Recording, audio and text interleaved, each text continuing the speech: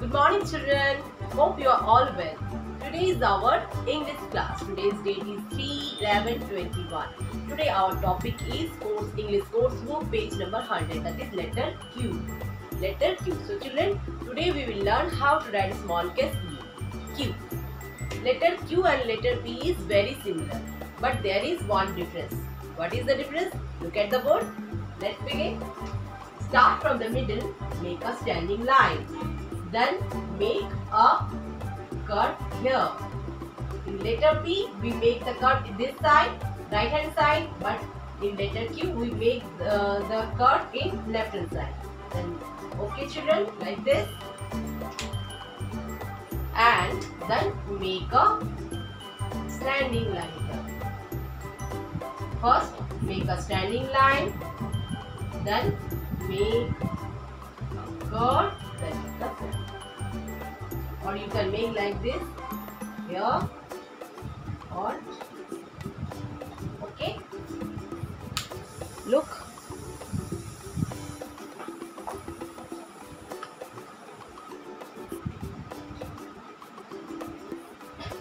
First make like this. First make a curve then go upward then make a standing line like curve okay. Student look. Start from here make a curve then go upward make make a standing line then okay very easy. First make a curve go upward make a standing line then make a curve. Make a standing okay children now take out your book page number 100 look children this is page number 100 of your english course letter Q. So today we will write letter Q, small letter Q. Read, dress and small case Q. First start from here, make a curve. Then go upward, make a standing line. Then make a curved line, um, slipping, standing line, sorry. First make a curve, then go upward, make standing line. Then make a slanting line. First make a curve, go upward, make standing line then make a slanting line. Okay children? Like this and this. Curved line standing line and slanting line. This make a letter q. Small letter q.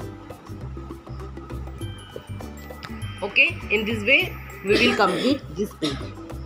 Start from the middle make a curve. Then go up and make a standing line. Come to the below. And then make a slanting line this is letter Q, small letter Q. First make a curve, then go upward, make a standing line, come to the below, then here make a slanting line.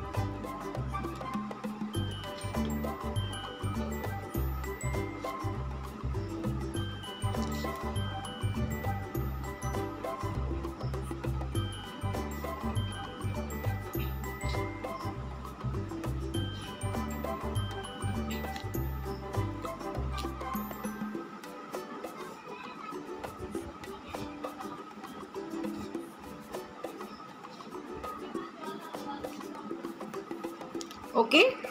I have finished. Now the lower part. Fill in the blanks with the first letter. Okay. Uh, children please omit this picture. Make a cut here. Please omit it. Now this one is nib n-i-b nib n-i-b nib this one is mud. M-u-d. Mud m-u-d mud. This is pat. P-a-t pat pat mean put the hand gently the flat part. Okay pat this is called pat pat and this is ox. Ox ox and this is nut. Children omit this picture. Okay just cross it. N-i-b nib m-u-d mud p-a-t pat o-x ox and n-u-t nut. Hurry up children. Write down